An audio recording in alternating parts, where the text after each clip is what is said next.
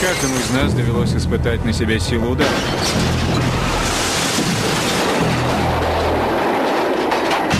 Столкновение двух объектов обычно оборачивается неприятностями. Но с недавних пор этой проблемой занимаются ученые. Они постоянно совершенствуют способы защиты человека от разрушительных сил, возникающих при ударе.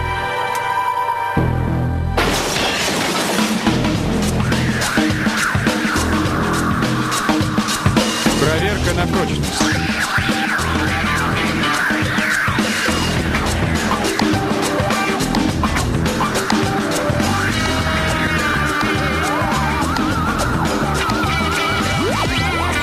Удар.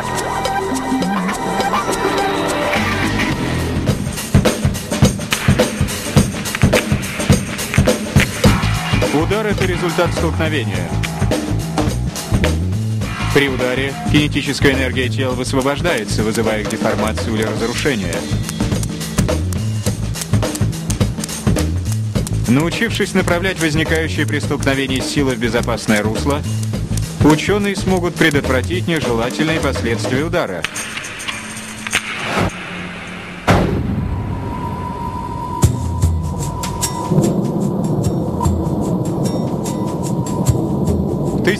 1992 году ураган Эндрю лишил Стэна Голденберга всего нажитого имущества, обрушив на жилище Стэна обломки других строений со скоростью 250 км в час. Смерч полностью уничтожил его. Сейчас от дома остался лишь бетонный фундамент.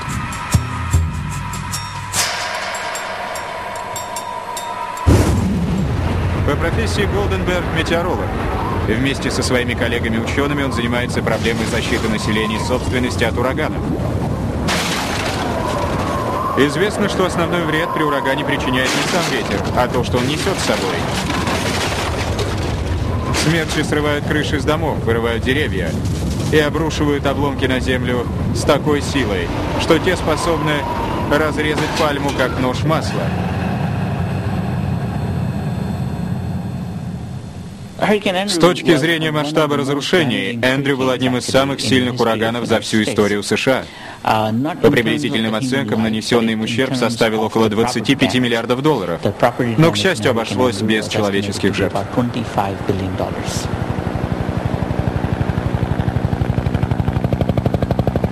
Ураганный ветер врывался в дома, срывал с них крыши, ломал стены.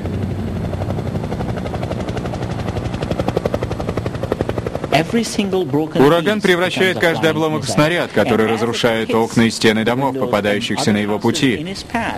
В образовавшиеся пробоины врывается ветер и срывает с домов крыши. Таким образом возникает цепная реакция. Ураган несет с собой все больше и больше смертоносных обломков.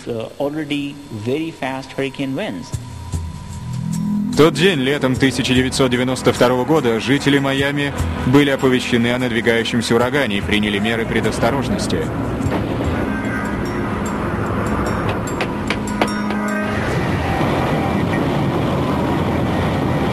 Голденберг и его семья укрылись от урагана в своем доме.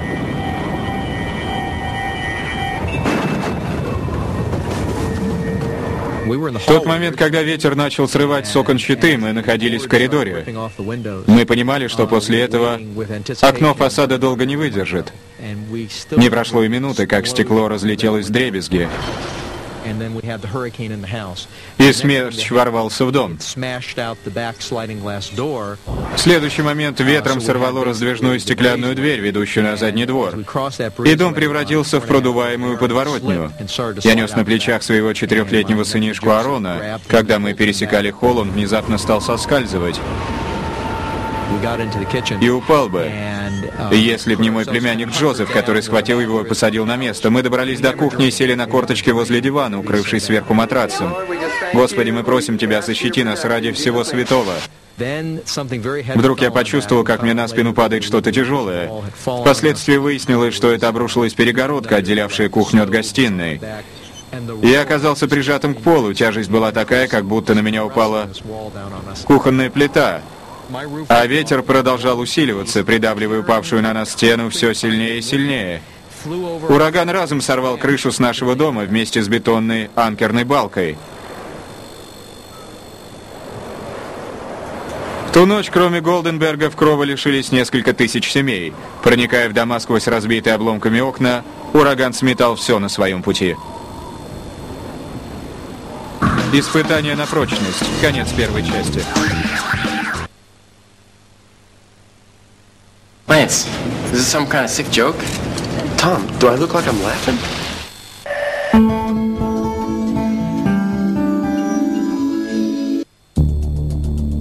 Сенсорный интерфейс — это программа, симулирующая ощущение прикосновения.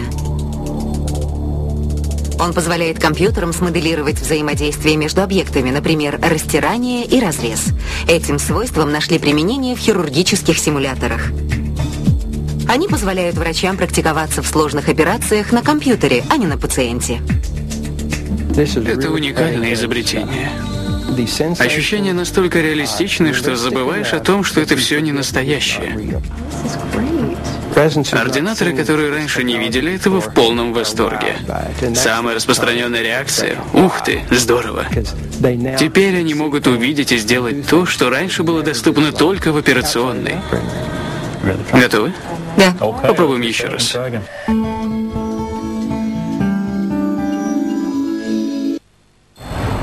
Несравненные звуки недели скоростей на Discovery. Прислушайтесь.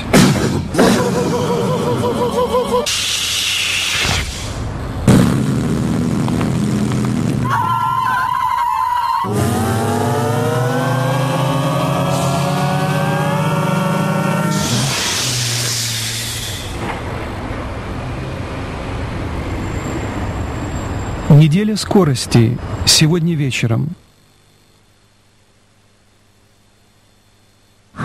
Испытание на прочность. Часть вторая.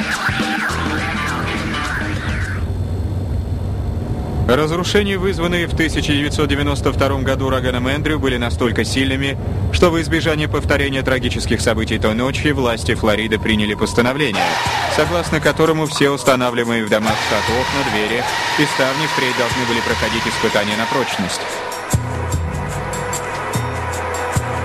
Мы находимся в лаборатории доктора наук Саида Али, где он сейчас ставит эксперимент, имитирующий попадание в стекло, сорванного ураганом с крыши стропила.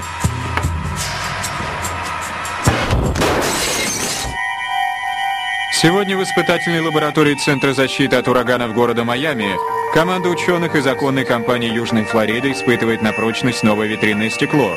Оно состоит из двух половинок, между которыми вклеен слой пластика. Разработчики с напряжением ждут результатов эксперимента.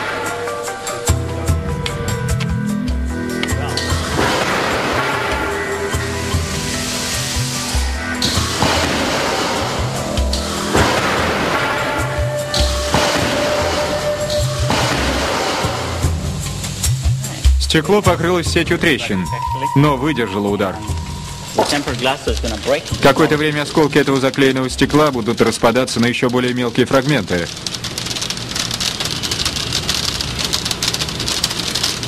Стекло продолжает растрескиваться, а доктор Али приступает к осмотру стекла в поисках существенных повреждений. Вы слышите характерный звук, это продолжает трескаться стекло.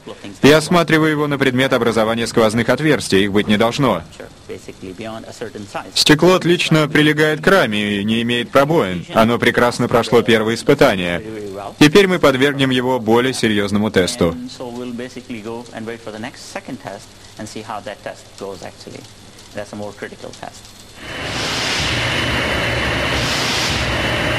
Итак, окно выдержало удар стропила, но самое тяжелое испытание впереди. Любой ураган сопровождается существенными перепадами атмосферного давления. Поэтому для того, чтобы получить сертификат на применение в южной части Флориды, этому стеклу предстоит пройти еще один тест на прочность. Оно должно выдержать имитирующий ветер переменное давление, которое будет создаваться насосом в течение 36 часов.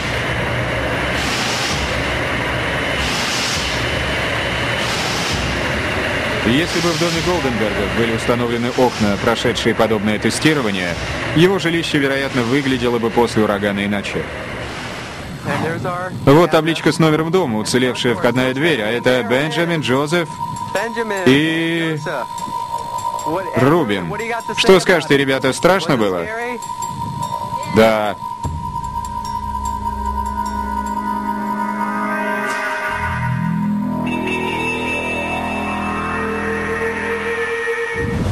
На море ураганы поднимают гигантские волны. Последствия удара такой волны о борт судна могут оказаться катастрофическими.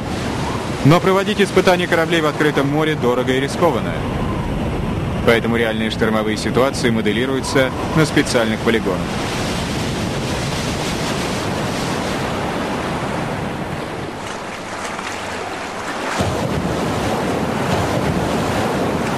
Но чем больше модель корабля, тем больше полигон требуется для ее испытания.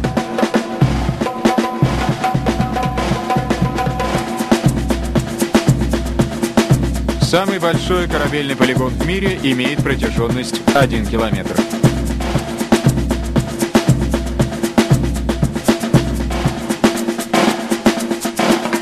Это испытательный центр ВМФ США в Гандероке, чуть севернее Вашингтона. Здесь, в огромном резервуаре с водой, проходят проверку модели военных кораблей и нефтяных танкеров.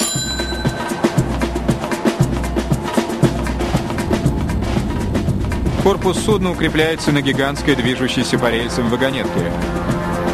Приводимая в движение электричеством, вагонетка способна разогнать модель корабля до скорости самого быстрого эсминца. Для достоверности испытания пропорции модели соблюдены даже в мелочах а резервуар с водой повторяет кривизну земной поверхности.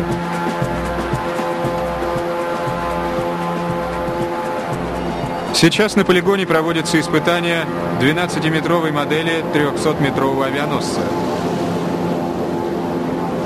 Эксперимент покажет, выдержит ли корпус судна прямой удар волны.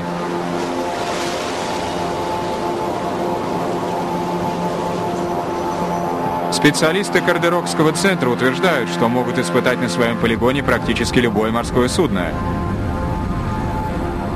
Шанс доказать это представился им в 1989 году после крушения танкера «Эксон Вальдес».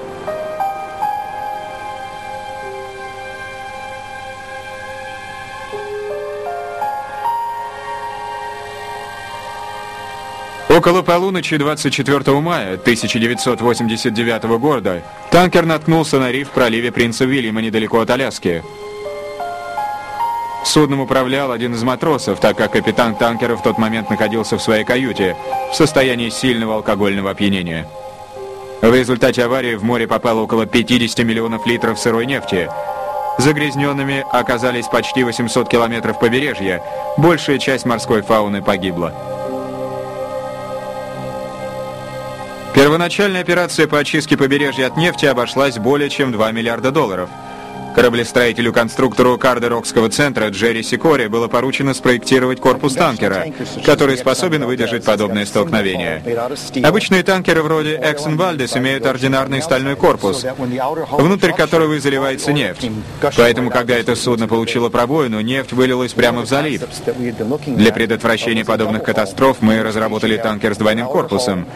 Внутри внешнего корпуса судна находится еще один стальной корпус, которым перевозится нефть uh, is contained in the inner hull.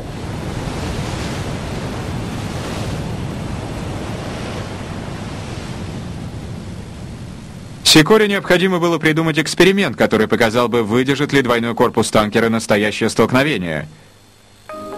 И вот что он придумал. На двух вагонетках установлен фрагмент корпуса танкера.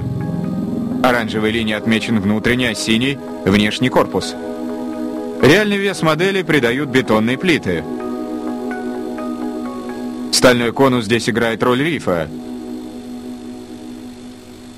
на который наткнулся Эксон Вальдес.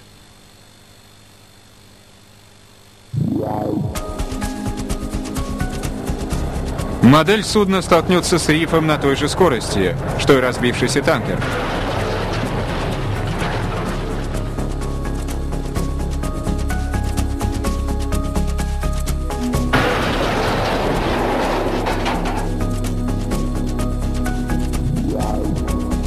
По характеру деформации внутреннего корпуса ученые детально восстановили картину удара.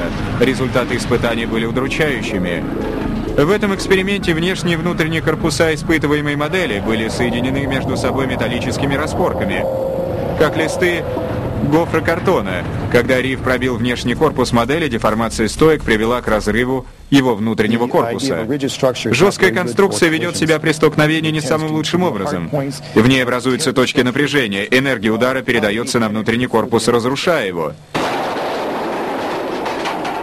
Чтобы сделать корпус судна более гибким, Сикора убрал три четверти распорок.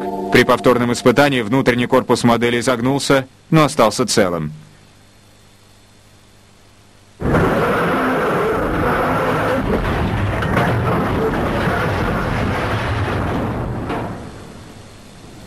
Да, это радует. Результаты эксперимента оказались настолько убедительными, что побудили конгрессменов принять новый закон. В 1990 году Конгресс США принял акт о борьбе с загрязнением нефтепродуктами, согласно которому будущие нефтяные танкеры должны были сооружаться только с двойным корпусом. Но ситуация не изменилась в одночасье. К сожалению, на то, чтобы заменить все имеющиеся танкеры на новые, потребуется 20 лет. Пока же большая часть нефтяных танкеров имеет одинарный корпус.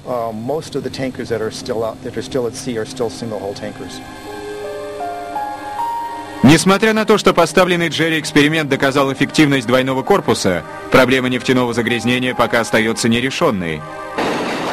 В 1996 году терпит крушение еще один танкер с одинарным корпусом – «Симпресс». В результате 72 тысячи тонн сырой нефти разливаются по побережье Англии, приводя в негодность пляжи и уничтожая прибрежную фауну.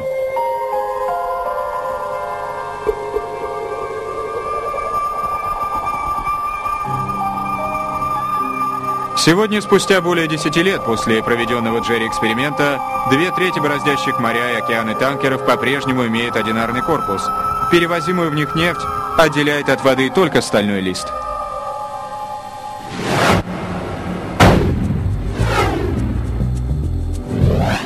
Крупные аварии и катастрофы порождают большую шумиху в средствах массовой информации, но и в повседневной жизни, в частности в спорте, здоровье человека подвергается определенному риску из-за постоянных, хоть и незаметных на первый взгляд ударов. При ударе по мячу ему передается кинетическая энергия бьющего тела, будь то нога, рука или бита. Но небольшая ее часть возвращается к спортсмену. При этом он ощущает вибрацию.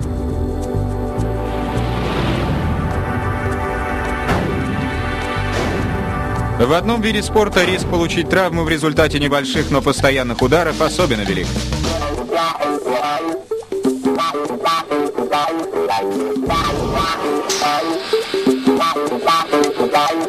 Усталость зачастую приводит к несчастным случаям. В горнолыжном спорте усталость возникает в первую очередь из-за беспрестанной вибрации, передающейся от лыж к ногам. Возникает вопрос, а нельзя ли оборудовать лыжи виброгасителем, который существенно повысил бы безопасность этого вида спорта, а также снизил бы риск повреждения суставов спортсмена?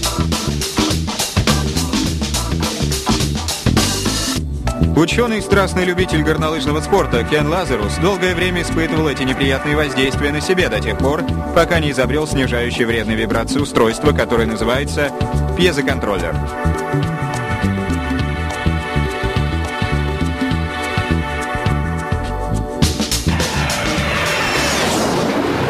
Работая в авиакосмической промышленности, Кен занимался разработкой и испытанием устройства, предназначавшегося для снижения вибраций в реактивных истребителях. Мы занимались разработкой системы подавления вибраций хвостовой части истребителя. Это электронное устройство преобразует механические колебания в небольшие электрические разряды, процесс возникновения которых называется пьезоэлектричеством. Проведенные испытания показали, что вибрация хвоста самолета, оборудованного подобным виброгасителем, снижается примерно в два раза.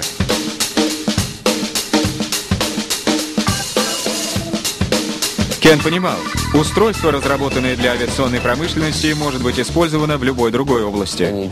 И тогда я задумался, а где еще требуется подобное устройство? К тому времени я уже давно занимался горнолыжным спортом, и это натолкнуло меня на мысль оборудовать виброгасителем лыжи.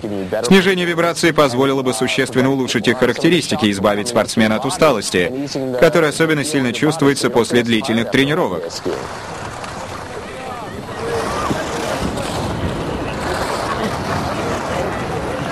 Следующим шагом была разработка специального горнолыжного варианта пьезоконтроллера. Это пьезоконтроллер, устройство, подавляющее вибрацию лыж.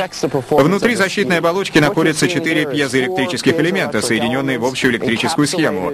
Каждый из них не больше кредитной карточки. Пьезоконтроллер преобразует колебания лыж в электричество, избавляя лыжника от вредной вибрации.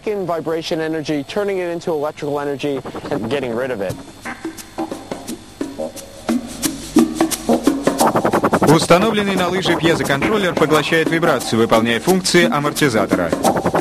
Теперь Лазарусу предстояло испытать свое изобретение в деле.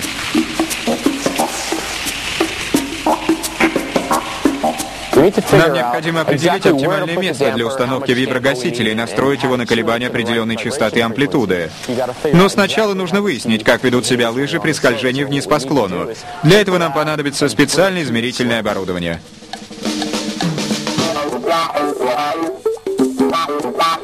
При помощи установленных на лыжах датчиков, которые кабелем соединены с записывающим устройством, ученый снимает характеристики возникающих при движении колебаний.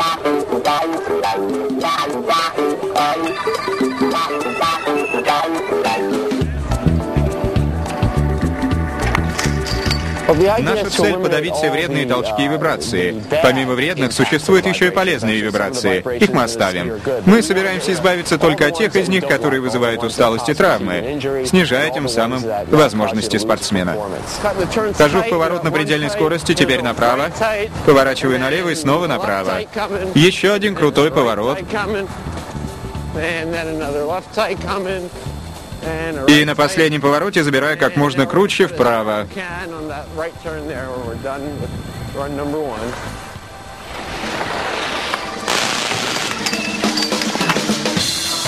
Лыжи, оборудованные пьезоконтроллерами, пользуются сегодня огромной популярностью в США.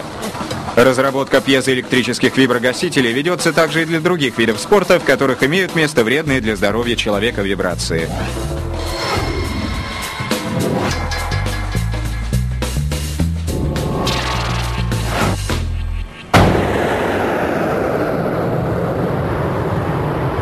Сильнее всего от разрушительных последствий ударов страдают самолеты.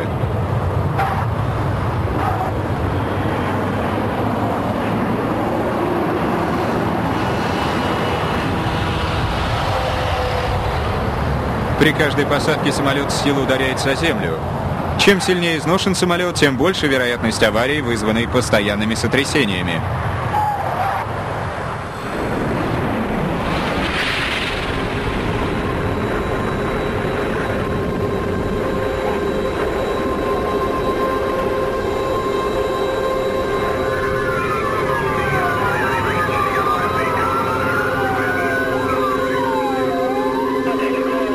1989 году при посадке в Сиу-Сити, штат Айова, разбился авиалайнер DC-10. Находящимся на его борту 184 пассажирам чудом удалось уцелеть. Он маневрировал, пытаясь удержать равновесие. Как вы думаете, что послужило причиной взрыва? Понятия не имею. Нас держали в неведении. До самого последнего момента мы даже не знали, что летим на одном двигателе. Нам сказали об этом только после посадки. Если, конечно, это можно назвать посадкой. Крушение стало неизбежным в тот момент, когда крошечная деталь, оторвавшаяся от изношенного двигателя, пробила обшивку самолета, повредив коммуникации. Сегодня ученые работают над созданием нового материала, способного выдержать подобные удары. Он должен быть одновременно сверхпрочным, легким и гибким. Проверка на прочность. Конец второй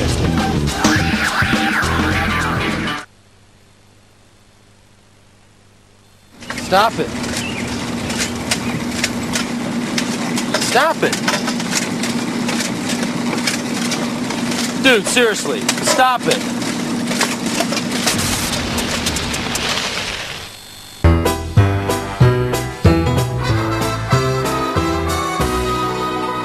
Это удивительное устройство, изготовленное в 20-х годах прошлого века, состоит из пластиковых цилиндров и двух резиновых груш. В каждом мячике имеется впускное отверстие для воздуха. В полых цилиндрах находятся маленькие отверстия. Резиновые груши закреплены на рукоятке, в которой имеется регулировочный механизм. Угадайте, что это?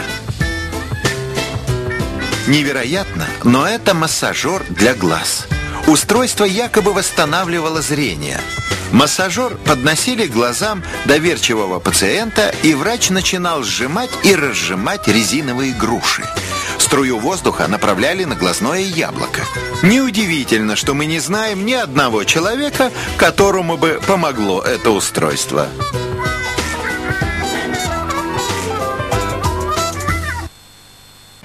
Она олимпийская надежда целой нации. Он идет своей дорогой, изучая искусство кунг-фу по ту сторону Великой Стены. Атлас Discovery. Открывая Китай. В понедельник на Discovery.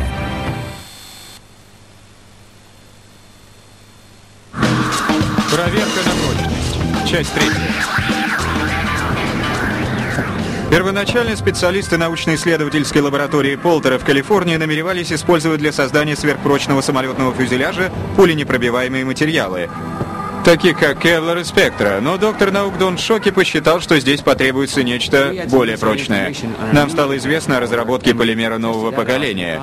В ходе проведенных нами испытаний выяснилось, что он в два раза прочнее Кевлара и Спектры, и аж 13 раз лучше, чем обычный авиационный алюминий. Этот материал называется Зайлон.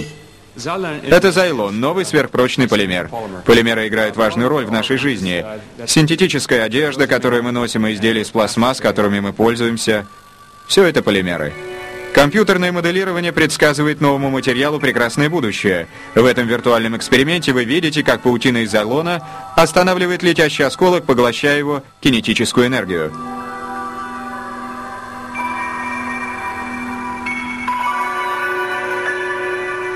В следующем испытании ученые попытаются прорвать Зайлон различными металлическими обломками, как тупыми, так и острыми. Мы снимаем ход эксперимента на видеокамеру очень высокого разрешения, которая позволит нам увидеть, как рвется каждая ниточка. Более того, если мы увеличим масштаб изображения, мы сможем разглядеть те 300-400 волокон, из которых состоит каждая нить этого полимера. Новый материал проходит тщательную проверку, ведь в скором будущем от него будут зависеть жизни пассажиров авиалайнеров. Для установления предела прочности Зайлона ученые воспроизводят столкновения в замедленном времени, наблюдая, как одно за другим рвутся его волокна.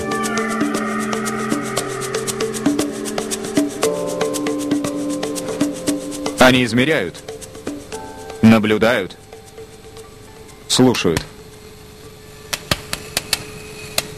Чем громче и резче звук, тем больше нити полимера рвутся в единицу времени, и тем менее прочим испытуемый материал. Секрет прочности Зайлона в том, что тысячи его нитей рвутся последовательно, одна за другой, гася энергию удара. Следующее испытание — резкий удар — В нашей лаборатории имеются специальные пушки, стреляющие металлическими осколками, а также оборудование, с помощью которого мы сможем измерить скорость осколка до и после столкновения. Эти данные позволят нам узнать, какое количество кинетической энергии осколка поглотит Зайлон.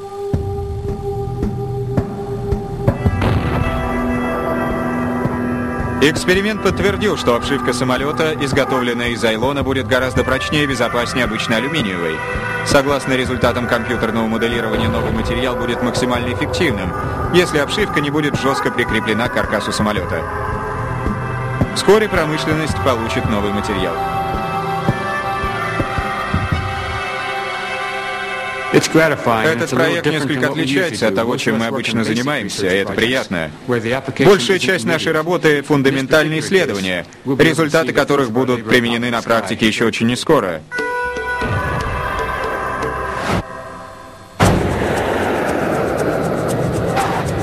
Постоянный бафтинг в воздухе и многочисленные удары самолета о землю при посадках и взлетах порождают еще одну серьезную проблему — усталость металла.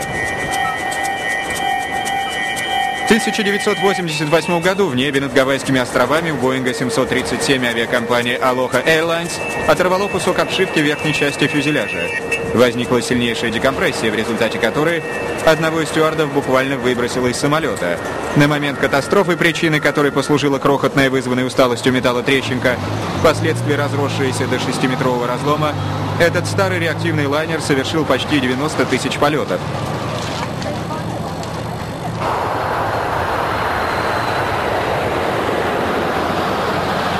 Необходимо было создать материал, которому не свойственна усталость, послужившая причиной катастрофы самолета авиакомпании «Алоха».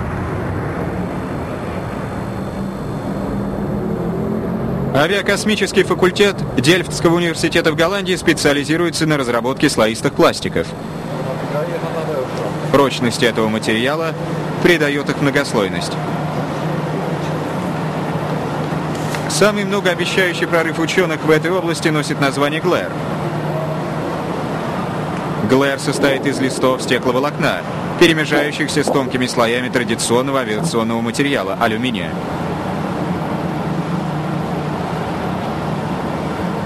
Испытание нового материала возглавил его создатель, профессор Фогельзанг.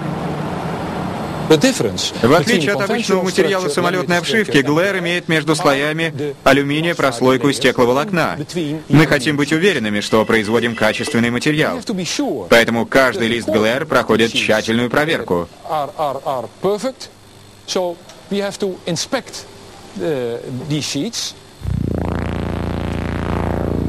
Это наша ультразвуковая система контроля качества, при помощи которой мы исследуем внутренность материала. Подобно тому, как в больнице врач исследует находящийся в животе матери зародыш. Такая проверка помогает выявить скрытые дефекты листа.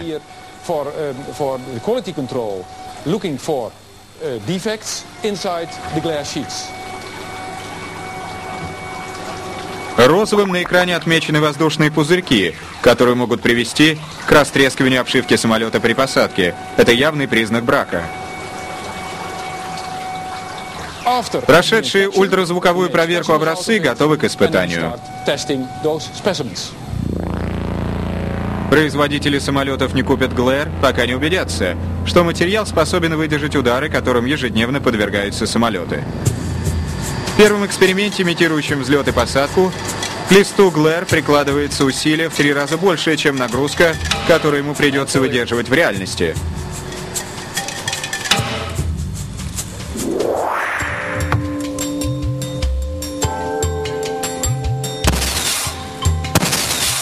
В следующем испытании в панель Глэр выстреливают ледяным шариком, который в момент столкновения с ней имеет скорость 320 км в час.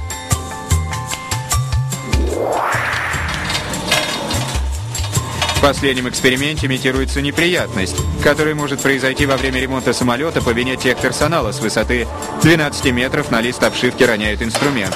И вновь материал не получает серьезных повреждений.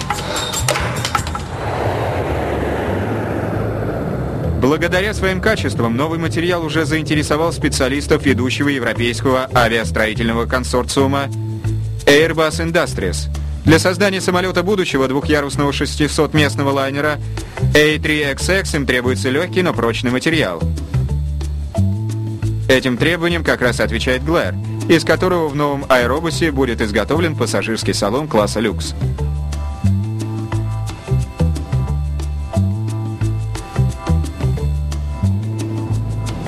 В авиационно-конструкторском бюро Фокера из Глэр была изготовлена крупнейшая цельная деталь самолетного фюзеляжа. Панели, изготовленные по передовой многослойной технологии, практически не нуждаются в заклепках, которыми скрепляются алюминиевые детали обычной самолетной обшивки. Это уменьшает количество точек напряжения. Для окончательной проверки профессор подверг полномасштабную панель фюзеляжа, изготовленную из ГЛР-испытаний, условия которого максимально приближены к реальности.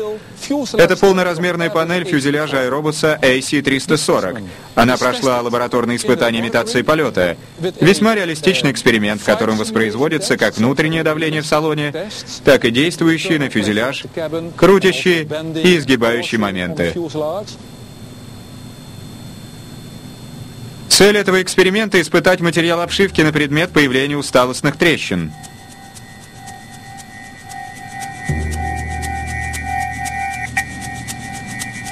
Тот факт, что усталость материала может оказаться чрезвычайно опасной, подтверждает авария, случившаяся с самолетом авиакомпании «Алоха». Этот самолет был изготовлен из обычного алюминия. Образовавшаяся в результате ежедневных ударных нагрузок трещинка в обшивке привела к катастрофе. Мы называем это отсутствием стойкости к повреждениям.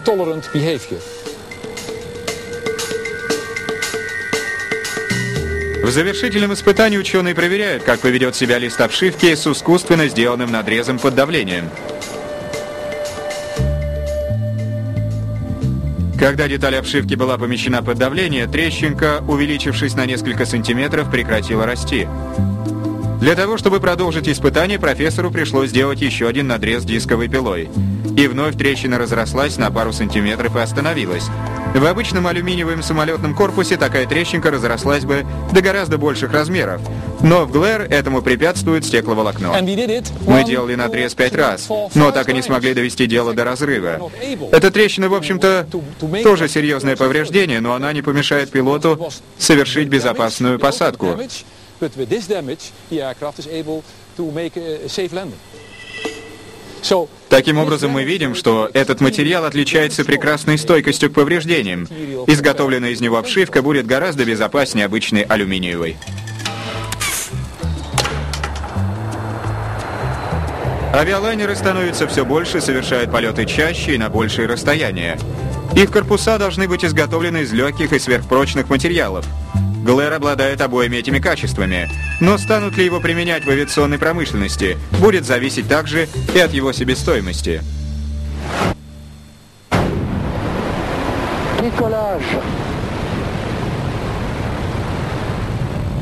Самый серьезный вызов ученым, занимающимся разработкой ударопрочных материалов, бросают космические глубины. На первый взгляд, в пространстве между звездами и планетами абсолютная пустота. На самом деле, оно заполнено всевозможными космическими телами, от метеоритов до микроскопических частиц, движущихся быстрее пули. Большая часть этих тел – последствия Большого Взрыва, космической катастрофы, в результате которой образовалась наша Вселенная. Комета — это то, что дошло до наших дней от первоначальной Солнечной системы, какой она была в начале времен. Ученые полагают, что материал, из которого состоят кометы, ключ к разгадке происхождения нашей Вселенной. Но частицы комет движутся в космосе со скоростью 56 тысяч километров в час, и до сих пор поймать их не удавалось. Из-за своей огромной скорости при столкновении с каким-либо телом они моментально испаряются.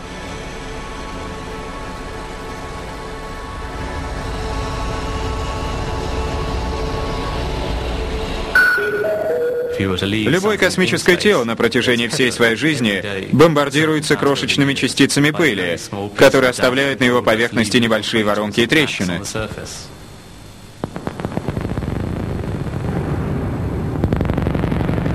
Вы видите результат столкновения частицы размером с горошину с обшивкой космического корабля. Сама частица, вызвавшая это повреждение, испарилась. Необходимо было придумать способ сбора этих частиц для их последующей переправки на Землю и их изучения. Решение проблемы перед вами. Это аэрогель, самое легкое из известных на сегодняшний день твердых тел, получившее прозвище «замороженный дым». Глыба аэрогеля размером с человека весит меньше одного килограмма и при этом способна выдержать вес автомобиля. Уникальные свойства этого материала натолкнули ученых на мысль использовать его для захвата космической пыли.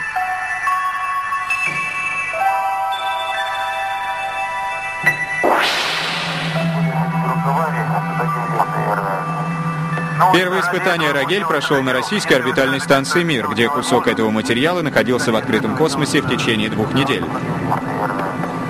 Ну вот ради этого будет делаться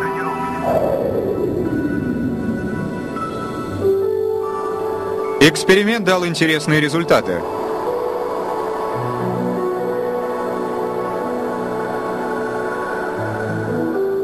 При столкновении с пластом аэрогеля космические частицы не испарялись, а застревали внутри. Космос вокруг станции «Мир» был заполнен как космической пылью, так и отходами, образовавшимися в результате космических полетов.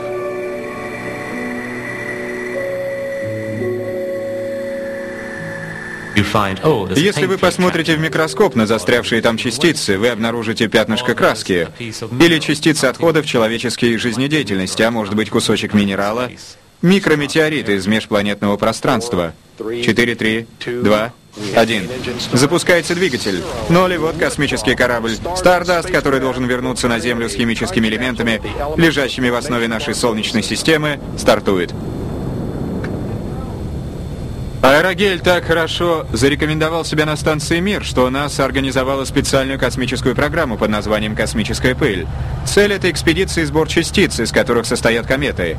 При помощи аэрогеля ученые рассчитывают собрать более тысячи мельчайших частиц из хвоста кометы, который называется Уайл-2.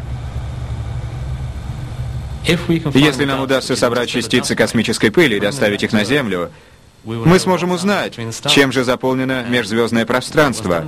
До нас это еще никому не удавалось. Это будет весьма многообещающим началом. Аэрогель – материал, обладающий уникальной способностью поглощать энергию удара. Он является ключевым звеном в нашей программе по сбору космических частиц, которые помогут пролить свет на тайну происхождения Вселенной. Но вернемся на Землю. По нашим железным дорогам перевозится груз, который должен быть предохранен от повреждения любой ценой. Речь идет о контейнерах с радиоактивными отходами. В Англии ученые провели эксперимент, целью которого было выяснить, что произойдет при столкновении перевозящего радиоактивные отходы состава со скорым поездом.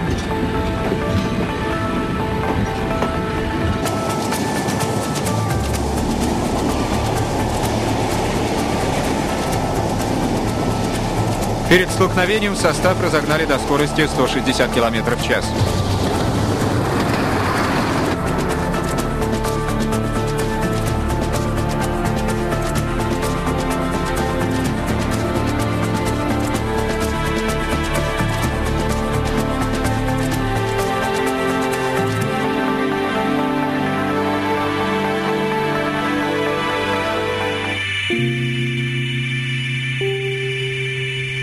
Контейнер выдержал испытание. Покореженный и царапанный, он тем не менее сохранил герметичность.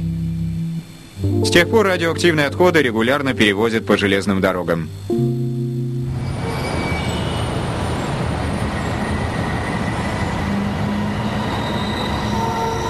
Ежегодно в США более 40 тысяч людей гибнут в дорожно-транспортных происшествиях.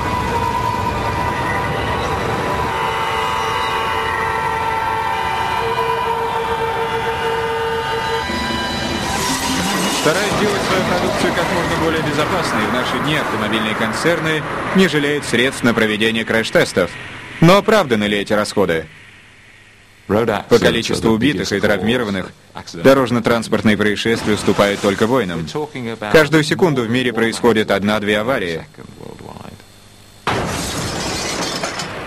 Для разработки более безопасных машин их производителям необходимо точно знать, что происходит с их автомобилем при столкновении.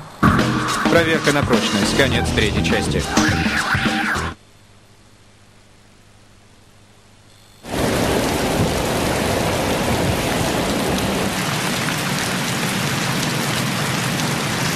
Hey, Adam from Mythbusters. What's up with you? Uh, I think I've had too much Pop Rocks and soda. Whoa, whoa, whoa, what are you crazy? Relax, Lance. It's just an urban myth.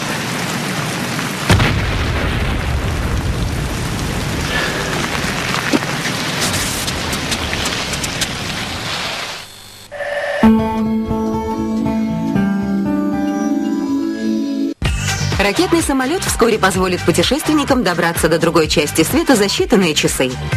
Команда из X-Core задалась целью построить безопасную нетоксичную многоразовую ракету. Результат – EZ-Rocket. Двигатель самолета – вот эта небольшая деталь. У самолета два двигателя. В кабине они помечены цифрами 1 и 2. В таком двигателе нет подвижных элементов. Он либо работает, либо нет. Ракетный двигатель работает, пока не выгорит все топливо. В отличие от реактивного, регулировать мощность нельзя. Но новая технология EZ Rocket позволяет включать и выключать двигатель во время полета. У пилота есть один переключатель. На нем два режима – громко и тихо. X-Core занимается разработкой следующего поколения самолетов – Ксеруса. Герметичная кабина позволит летать со сверхзвуковой скоростью на высоте 100 километров. Незабываемые впечатления обеспечены.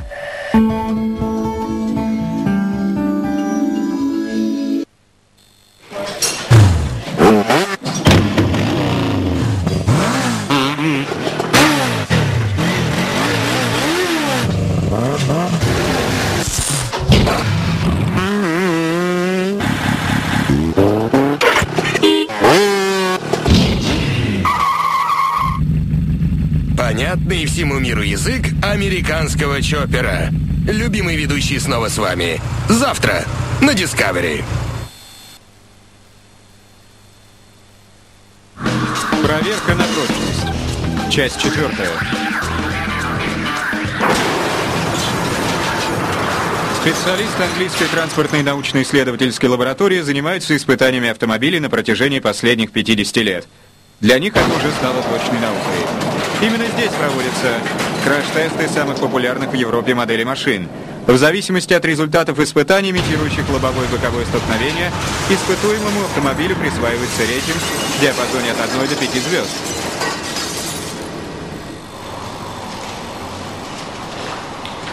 Если вы публикуете в прессе результаты испытаний одной марки автомобилей и сравниваете их с результатами испытания другой, от вас могут потребовать доказательств объективности эксперимента. Чтобы исключить вероятность того, что представитель фирмы-производителя заявит, причиной столь низкой оценки нашего автомобиля послужило то, что вы испытывали в несколько других условиях, условия проведения всех тестов должны быть абсолютно одинаковыми. Сегодня в лаборатории проводится имитация лобового столкновения – Присутствующие на испытании своего детища инженер автомобильного концерна имеют возможность ознакомиться с каждым аспектом проведения эксперимента. Все в порядке, да, спасибо.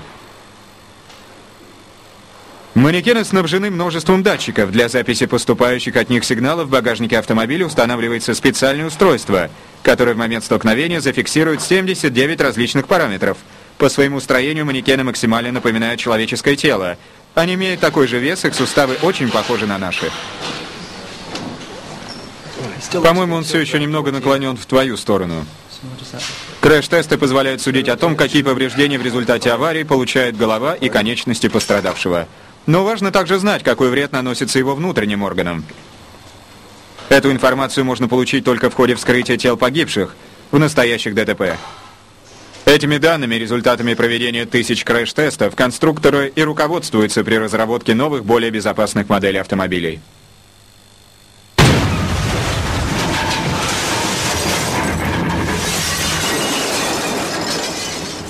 В идеале при помощи средств безопасности мы хотим свести на нет травмы, получаемые пассажиром и водителем, непосредственно от удара и смятия кузова.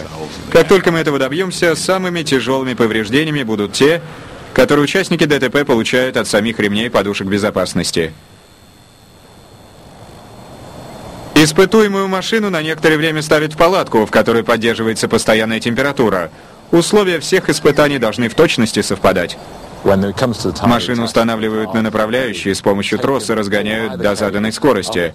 Разогнавшись, она въезжает в специально оборудованное помещение, где и происходит столкновение. В этом тесте манекены изображают 18-месячного малыша, трехлетнего ребенка и их родителей. В тех местах на лицах манекенов, куда по всей вероятности придется удар, наносится краска. По пятнам, оставленным краской на подушках безопасности или на задних сиденьях, впоследствии можно будет детально восстановить картину столкновения. Включай свет и поехали. Испытание, которому предшествовала пятичасовая подготовка, длится меньше секунды.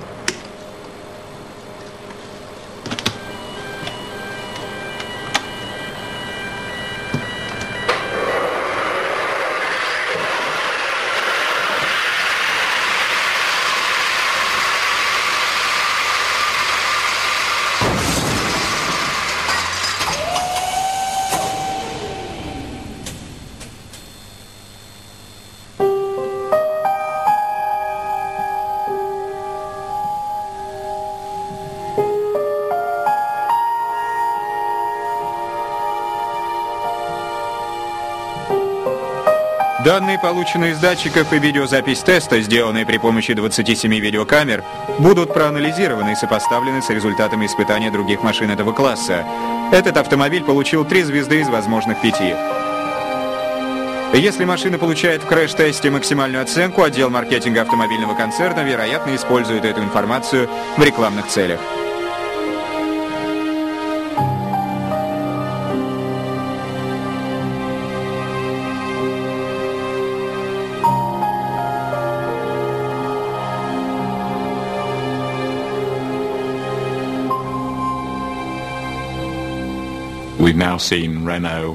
Сегодня в рекламных кампаниях Своих автомобилей Эспас и Меган фирма Рено ссылается на отличные показатели безопасности, которые подтверждены нашими тестами.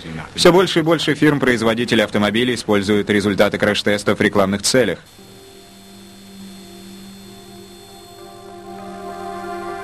Для водителей и пассажиров автомобили становятся все безопаснее, но те, кто ходит пешком, рискуют по-прежнему. Свыше пяти тысяч пешеходов ежегодно гибнут в результате ДТП. Впрочем, соответствующие испытания, цель которых защита пешехода от наезда, уже проводятся.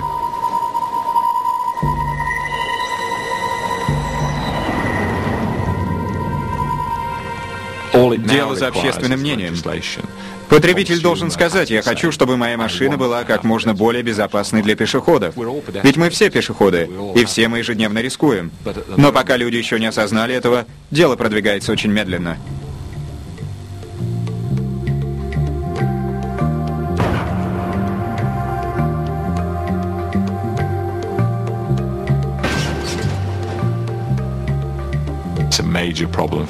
Особенно остро эта проблема стоит в больших городах, таких как Нью-Йорк. В США уже ведутся разработки более безопасных для пешеходов автомобилей, но пока этот проект не получил должной поддержки.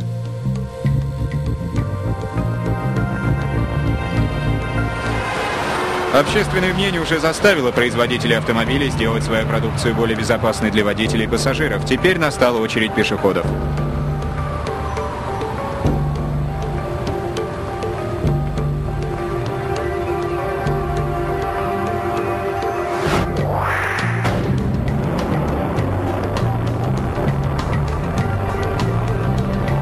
Все больше и больше узнают ученые о причинах и результатах столкновений. И чем больше наработок появится в этой области, тем менее разрушительными станут для нас последствия столкновений.